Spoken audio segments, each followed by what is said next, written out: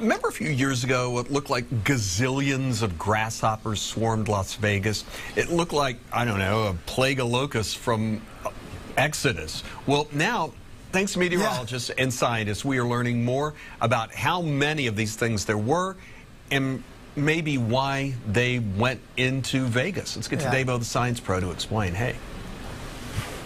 Well, first of all, who doesn't want to go hang out in Vegas? Well, there's that. I mean, everybody wants to hang out in Vegas. But, you know, we in the weather world uh, rely on radar. Specifically, you know, do, you know, where is it raining? Where is it snowing? Where is the sleet? So on and so on. But other things can be detected by radar as well. So here is a radar picture from back in 2019 in Vegas. Now, if you just look at that, you go, oh, it's raining. Uh, no big deal. They're getting some rain in Vegas. But no, folks, once they determined all of those echoes, the greens, and even especially where the yellows are, biological, okay? These were insects that were milling around in and around Las Vegas.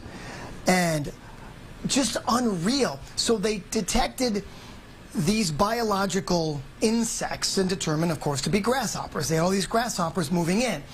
Once they realized there were some 45 million, give or take a million grasshoppers, okay, moving into Vegas at night. Here's what happened. First of all, it had been a very wet spring. They had had close to their yearly rainfall in just six months, which helped to breed these grasshoppers. But what people don't understand, or maybe you do know or don't, that Las Vegas is hands down the brightest city on the planet by a large margin. Satellite, you can see the light from Vegas by satellite. It is so bright. So the insects, or the grasshoppers in this case, were oh. lured in by this dome of light in Las Vegas. Now, they aren't harmful. They didn't hurt anything. I mean, they were a mess to clean up, and a lot of them, unfortunately, died right there in the city, not being able to get back out into the country. But it was a twofold thing. It was the above normal rainfall that they had, and it was the bright lights of Las Vegas in general that attracted this plume of grasshoppers. You can see the light from Las Vegas, Russell, 200 miles away. So therein lies the problem. And I think you're going to see more and more of this. Maybe not grasshoppers, maybe ladybugs, maybe other types of bugs, but they're drawn to light.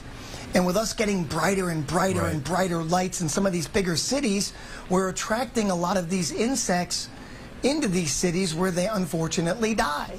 So light pollution is becoming a serious problem in the U.S., and this is just one example. But it was nothing out of Exodus or apocalyptic or anything like that. It really had to do with the above normal rainfall and the lights. And quickly, by the way, you've heard of the cicadas that come out every 17 yeah. years? They're coming, the aren't they? The biggest brood of cicadas are getting ready to emerge from New York to Georgia. These is the largest brood of all of them. And we're going to be hearing a lot more about that in the next few weeks, too. Okay. Thank you.